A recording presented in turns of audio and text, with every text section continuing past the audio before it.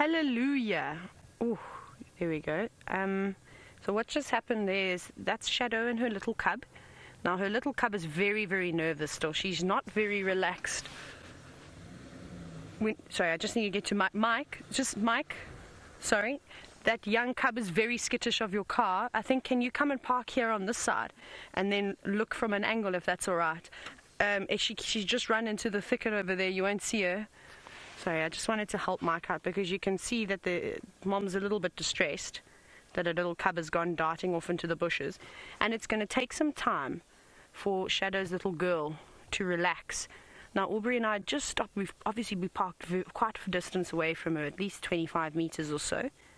Actually, even a bit more, maybe closer to 30, 35 meters away from her. And we want to give her a bit of room. Shadow's fine. She doesn't mind the cars at all. You can go off roading right next to her.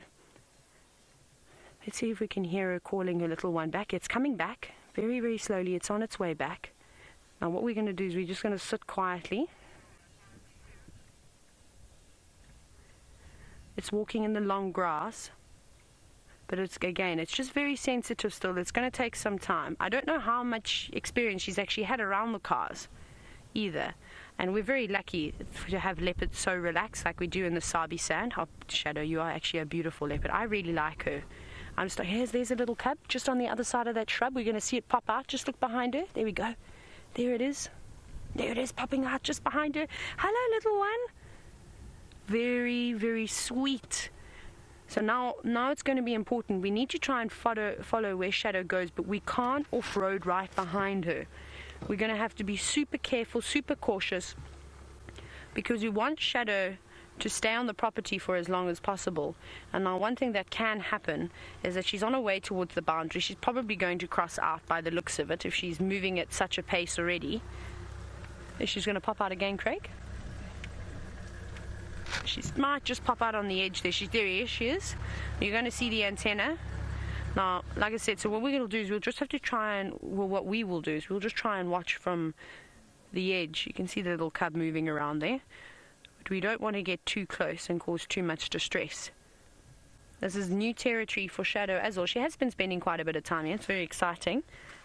And I just hope we keep these interactions positive. positive and eventually, that little one will take a couple of weeks, maybe even a few months of being spotted regularly and spending time with the cars.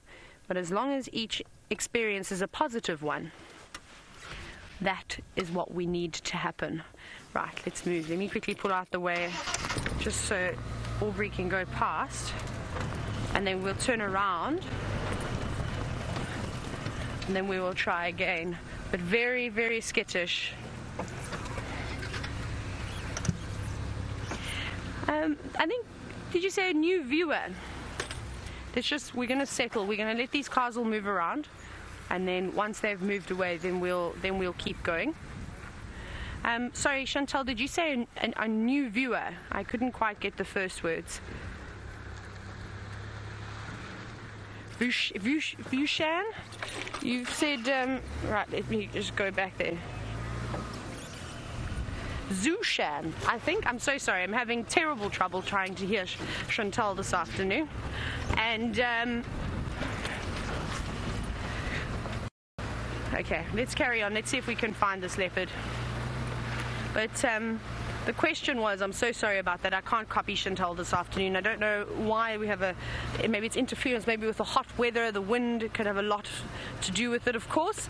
Um, and the, but the question was, has Shadow's little girl been named yet? No, no, not yet. Um, she's sort of coming to the age, so I'm not sure who is going to name her because as far as I'm aware, she was found on Arathusa's property.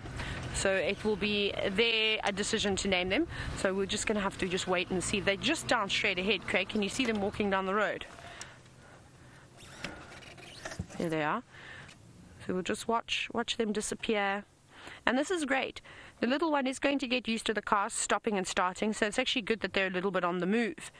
Um, and I think that was the noise that it was worried about in the beginning. But the more often that it gets the opportunity to hear those cars going on and off and driving over the odd stick or over leaves, it's going to desensitize her a lot quicker. And that's how you habituate leopards. It's, it's not a process that happens straight away.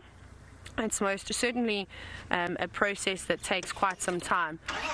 Going to go back for oops, just a little bit, and we'll follow him. Let's go through. We're just going to do this. We're sort of just going to stick to the roads for as well, for as long as we can. And get nice and dusty. But it's okay. This type, I don't mind getting dusty, especially if we are following leopard. Maybe they're going to be kind enough to stop it for a drink at the pan. They're still just ahead. They're approaching the Shubhamu pans. They're not too far off. Who knows? There those impala. Those impala rams were hanging around there. There's often warthogs and things. Mongoose, dwarf mongoose. I want to give Mike a chance to have a view. But maybe we can somehow squeeze down there. It's going to be tough. But of course, we want everybody to have a chance and to have a look. Oh, there goes the little cub running back out onto the road. Oh, they've just disappeared around the corner, unfortunately.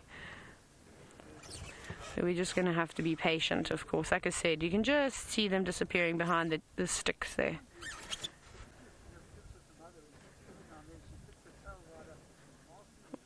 There we go. So this is quite nice. So let's keep an eye. We're also going to keep an ear out to see if we can maybe hear those impala. I have just heard the southern ground hornbills calling, so that's quite nice. They're one of my the most enjoyable birds to sit and watch.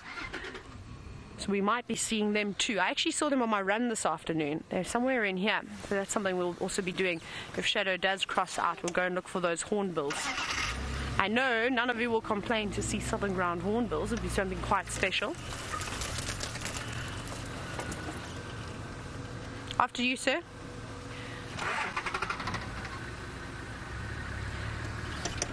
Right. We'll let these guys go. And then we'll take the next opportunity to go in front. We'll grab that one. Just because we had a nice view in the middle of the road. And then we will carry on. Let's keep going.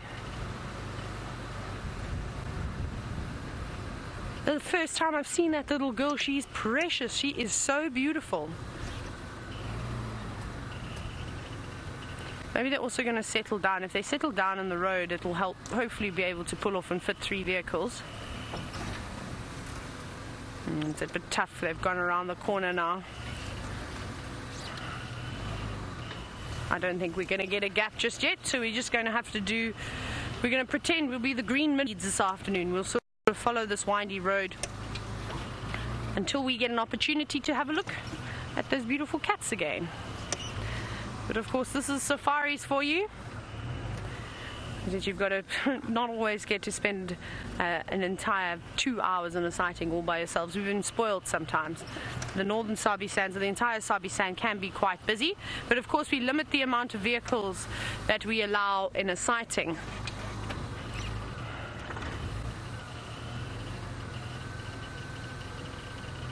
Right.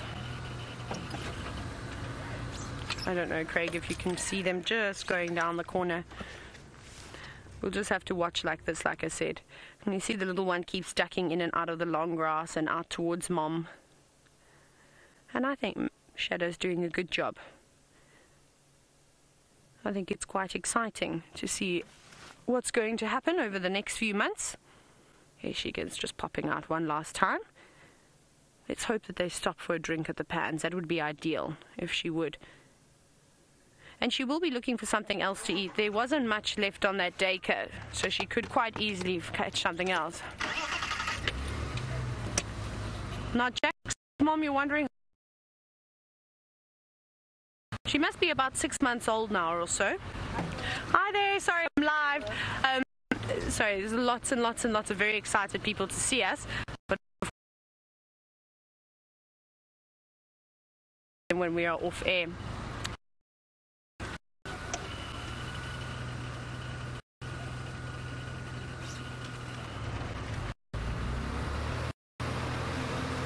Right, it seems as though there's a couple of gremlins out and about. I'm going to send you back across to Ali and hopefully we'll find some signal.